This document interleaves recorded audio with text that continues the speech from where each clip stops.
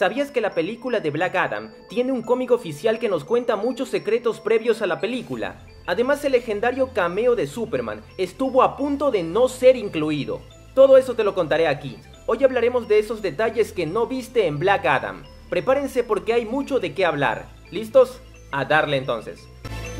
Según la roca Dwayne Johnson, el cameo de Superman en Black Adam solo iba a ser una sombra. Como sabrás, la directiva anterior de Warner Bros. tenía un problema con Henry Cavill e hicieron lo imposible por evitar usarlo en DC. Por eso solo vimos al Superman sin cabeza en Shazam y en Peacemaker solo una sombra. Ellos no querían a Henry Cavill. Sin embargo, La Roca hizo hasta lo imposible para traerlo de vuelta en Black Adam, y con la reciente renuncia de la directiva pasada, pudo grabar el cameo que todos aplaudimos. Si no fuera por La Roca y su gente, en esta escena hubiéramos visto solo una sombra.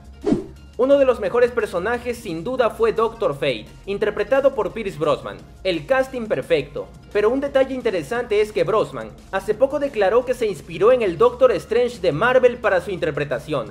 Él y sus hijos son fanáticos de las películas de David Cumberbatch. Esto es irónico, porque en los cómics es todo lo contrario. Doctor Fate se creó en 1940 y 20 años después, Marvel crearía a Doctor Strange inspirándose en Doctor Fate.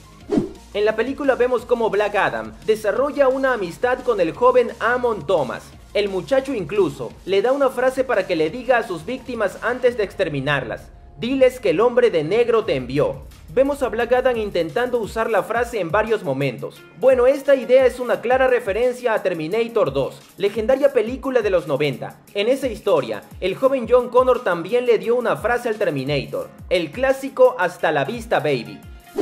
Aunque no lo crean, La Roca fue anunciado oficialmente como Black Adam en 2007, hace 15 años. Desde entonces su película recibió constantes retrasos por la incompetencia de las directivas anteriores. Incluso le ofrecieron otros papeles en DC para que se olvide de Black Adam, pero él siempre se negó. En entrevistas recientes, él ha declarado cómo esta película ha sido su sueño personal y ha peleado por ella durante años, es un caso similar a lo ocurrido con Ryan Reynolds y su batalla por grabar Deadpool. Durante la pelea de Black Adam contra Hawkman y Doctor Fate, vemos un KFC de fondo. Esto es importante porque más adelante, Atom Smasher aparece en escena, comiendo un cubo de pollo frito para recuperar energías. Parecía que sacó el pollo de la nada, pero ahora que ubicamos este KFC, entendemos que ahí lo compró. A la mitad de la película descubrimos que el campeón de Kandak nunca fue Black Adam, sino su hijo. En el pasado vemos una versión superpoderosa de este muchacho, interpretada por el actor Ulila Tuque. Lo interesante es que este actor también interpreta a la versión joven de La Roca en la serie Young Rock de la NBC. En esa serie vemos varias versiones de La Roca durante su vida y adolescencia. Cuando Black Adam es encerrado en la prisión submarina, vemos aparecer a Emilia Harcourt, personaje de la serie Peacemaker. Ella dice una frase interesante. Sabes, dicen que los dioses nos crearon, pero somos nosotros los que siempre acabamos enterrándolos. Esto parece una referencia a la muerte de Superman en Batman v Superman. Hasta ahora en DC, este es el único dios que ha muerto y ha sido enterrado por los humanos.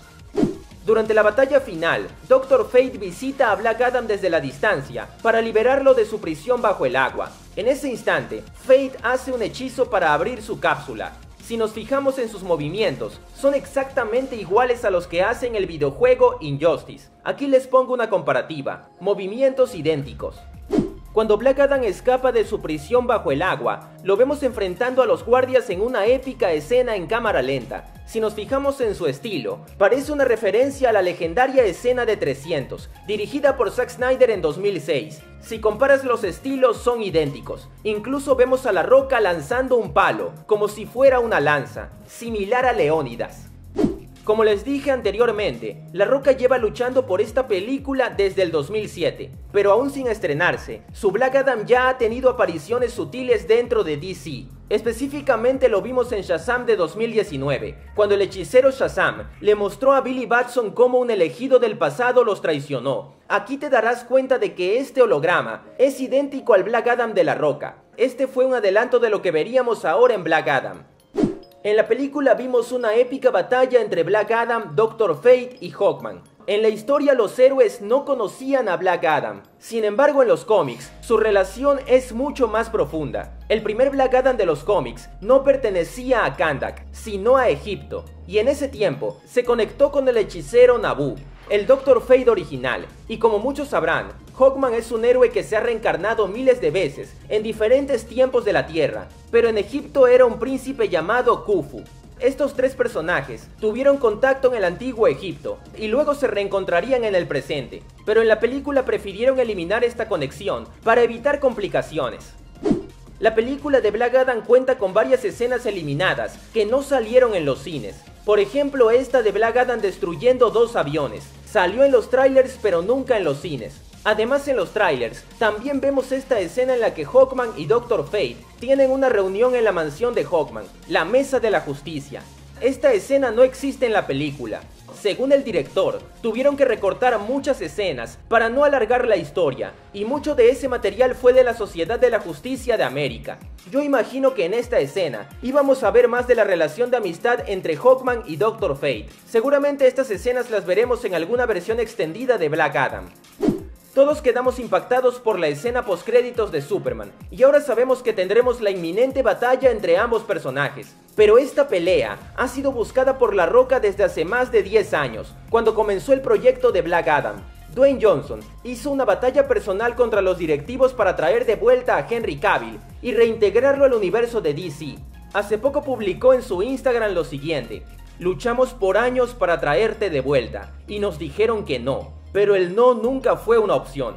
No podemos inteligentemente y estratégicamente construir el universo de DC sin el mejor superhéroe de todos los tiempos. Bienvenido a casa Superman. La muerte de Doctor Fate es uno de los momentos más poderosos de la película, y muchos nos quedamos con ganas de ver más de Pierce Brosnan, pues en una reciente entrevista, La Roca ya declaró que Doctor Fate fue de sus personajes favoritos, y ha dicho a los fans que verán más de él, tómenlo como una promesa de su parte. Con estas declaraciones, estaría confirmado que veremos más de Doctor Fate. Solo nos queda la duda de si Pierce Brosnan volverá o veremos a un nuevo Doctor Fate. Recordemos que el casco de Fate elige un nuevo hechicero cuando el anterior muere. Todo depende de si Pierce Brosnan quiere regresar. Durante la batalla contra Hawkman, Black Adam destruye un póster de Superman. Literalmente le arranca la cara con un puño. Y si nos fijamos en el borde del póster, dice la palabra Rock. Esto es una clara referencia a la épica batalla entre Superman y Black Adam. Desde hace años Dwayne Johnson ha luchado por crear esta pelea en la gran pantalla, y este póster es una referencia. Es como si dijera Superman tú sigues. Como les dije al inicio, la producción de la película sacó varios cómics oficiales que nos cuentan los eventos antes de Black Adam. Ahora mismo te cuento esa información.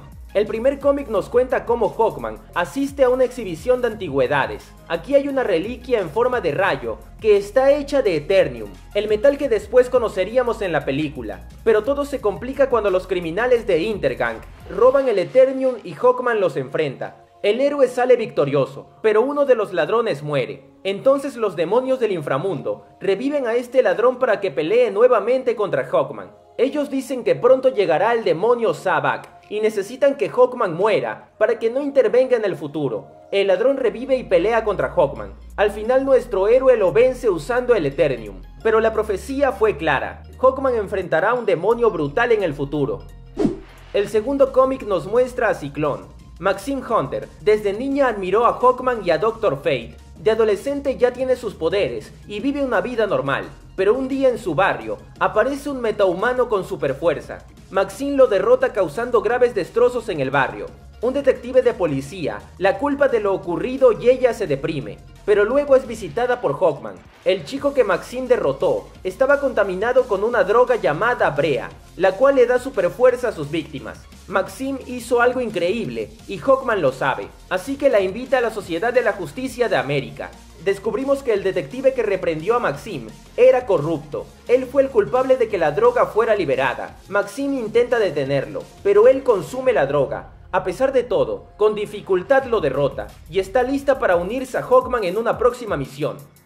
El tercer cómic es de Atom Smasher preparándose para su primera misión. Su tío Al tiene mucho miedo de que algo le ocurra, pero el muchacho está seguro.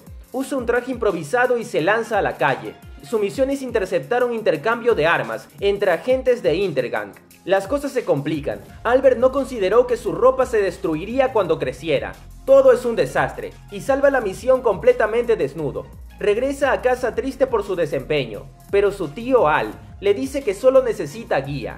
Le da una invitación a la Sociedad de la Justicia y Albert se pone muy feliz, ya que trabajará con Hawkman muy pronto. Además, su tío Al le entrega el legendario traje de Atom Smasher, el cual no se destruirá cuando crezca en batalla. El último cómic es la versión de Doctor Fate, quien vive retirado del mundo en la Torre del Destino. Hace muchos años formó parte de la Sociedad de la Justicia, pero este grupo desapareció. Fate se ve obligado a salir cuando unos chicos invocan a un demonio del inframundo. El demonio controla a una de las jovencitas y Fate se le enfrenta. El resto de los chicos escapan, excepto por uno que se queda a ayudar. El demonio le revela a Fate que viene de parte de Sabak y un futuro oscuro se avecina. Fate está a punto de perder, pero el chico que se quedó le ayuda con su casco. Al final vencen al demonio, pero la chica está prácticamente muerta. Fate le dice al chico que ella obtuvo lo que buscó al invocar a un demonio, pero el muchacho le ruega que la salve y le recuerda que él nunca huyó, se quedó para ayudarlo. Fate cambia de opinión y salva a la chica. Le da las gracias al muchacho, ya que su valor y bondad le han devuelto la humanidad que había perdido hace tiempo. Fate recibe una llamada de Hawkman, la Sociedad de la Justicia lo necesita, y ahora está listo para volver al mundo. Los cómics también nos incluyen una historia de Adriana y su hijo, mientras investigan los planes de Intergang. Aquí descubren que la corporación busca el Eternium para fines malignos. Y también tenemos una historia de Ted Adam con su hijo en el Kandak del pasado. En esta historia, vemos cómo el padre le dice al niño que ser un héroe no es para ellos, pero su hijo le demuestra en varias ocasiones que él puede hacer la diferencia. El muchacho ayuda a muchas personas de su pueblo, y Ted comprende que quizás su hijo es diferente, y puede ser la esperanza que Kandak necesita. Y también hacen canon el meme de la roca levantando la ceja. Aquí está, y bueno, eso es todo lo que puedo decirles de Black Adam. Espero les haya gustado el video. Si fue así, me ayudarías mucho dejándome un like. Eso sería legendario. Además, recuerda suscribirte.